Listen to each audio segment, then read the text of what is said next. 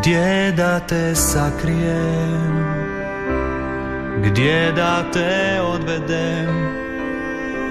Kojeg mlijeka da se napiješ? Koji zrak da udišeš?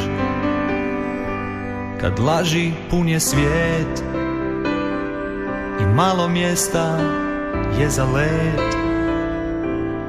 I čistog neba da ga srcem dotakneš. Ostaje mi jedino da se za tebe molim. Da preživiš vremena grubosti. Ostaje mi jedino da se za tebe molim mladá ostaneš srdca diečieň.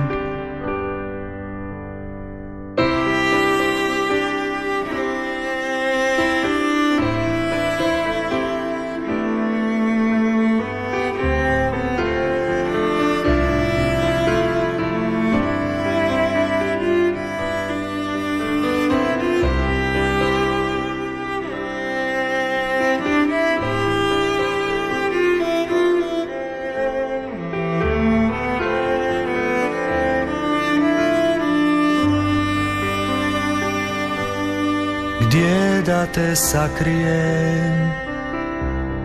Gdje da te odvedem?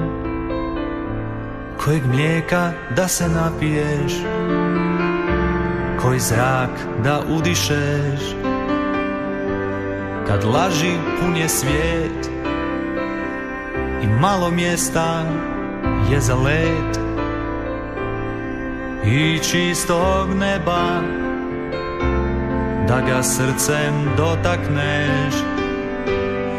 Ostaje mi jedino da se za tebe molim Da preživiš vremena grubosti. Ostaje mi jedino da se za tebe molim da ostaneš. Srca dječije i pobjediš